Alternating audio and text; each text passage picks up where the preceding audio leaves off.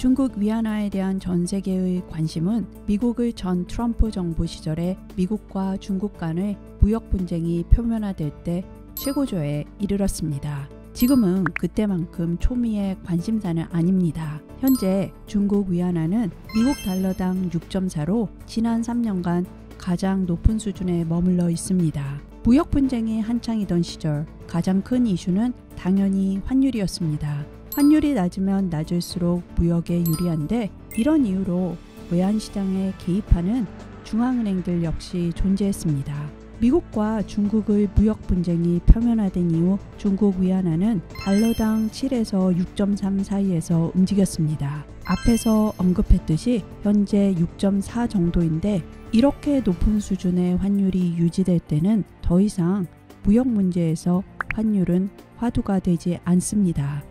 지금 아무도 중국 위안에 대해 이야기하지 않는 이유도 이 때문이죠. 하지만 정말 중국 위안에 관심을 갖지 않아도 될까요? Real Effective Exchange Rate 줄여서 REER이라고도 불리는 실질 실효 환율은 두 국가의 인플레이션을 감안해 조정한 환율입니다.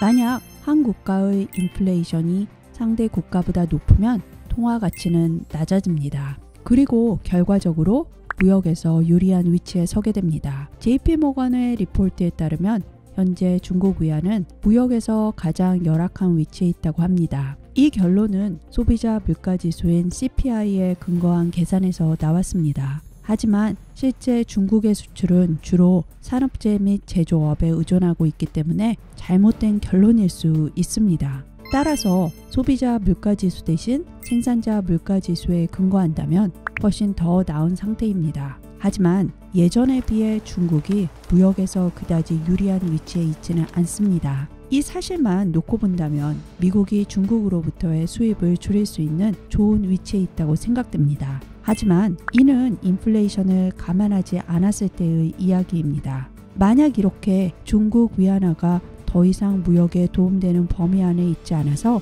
중국 물건이 예전처럼 싸지 않고 오히려 다른 곳에 비해 비싸다고 느끼더라도 미국인이 계속 중국 물건을 사고 싶어 한다면요. 비싸게 사와서 비싸게 팔아야만 하기 때문에 미국의 인플레이션을 높이는 데 공헌하는 결과가 발생합니다.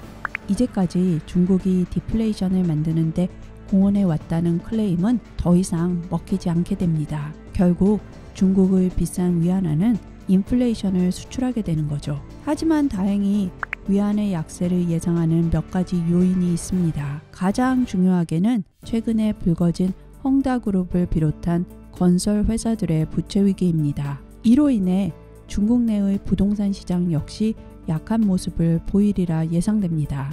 동시에 미국에서는 인플레이션 우려와 함께 테이퍼링과 이자율 인상이 예상됩니다. 이 모든 점이 중국 위안 대비 미국 달러의 강세를 의미합니다.